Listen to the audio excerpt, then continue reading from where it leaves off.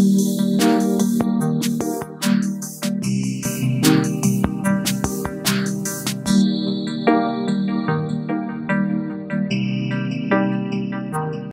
good morning, ladies and gentlemen, and welcome to Grumman Pilot's YouTube channel. And today we're going to look at some of the angles on our fuselage.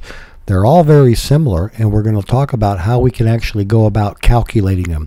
And we're interested in the angles on the side and the bottom slope of the turtle deck. So stay tuned while we have some more fun with this topic. So we would like to ask you please subscribe, hit the like button, and hit the notify to stay current with our content.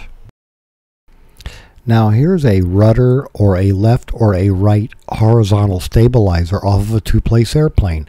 And you can see there's a slope to it. And we're going to calculate that in just a minute. We're going to measure it and we're going to go ahead and get a square. And as you can see, that's where that piece fits on the left side of the back of the uh, tail cone and also on the right side and it can also be the rudder. So we went and we traced it out on a piece of cardboard and what we found was we had three and a quarter inches of rise and we had 24 and 3 eighths inches of run. So let's look at the calculation on that. So we know what the sine and the cosine are based upon the same measurements and we're doing this in inches.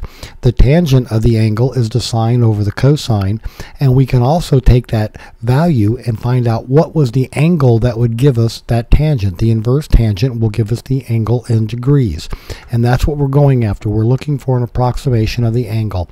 So we take a look at the numbers we have 3.25 divided by 24.375 that gives us 0.1333 repeating. It's actually very close to that. The tangent of that is 7.5 degrees. So that kind of gives us an idea for the angle of the top of the turtle deck. And since it's on the left and the right, it's also the same that the fuselage narrows. So there you go. There's what seven and a half degrees look like. Once again, here they are on the airplane. We hope you found this useful and informative. Thanks so much for watching and have a great day flying your Grumman.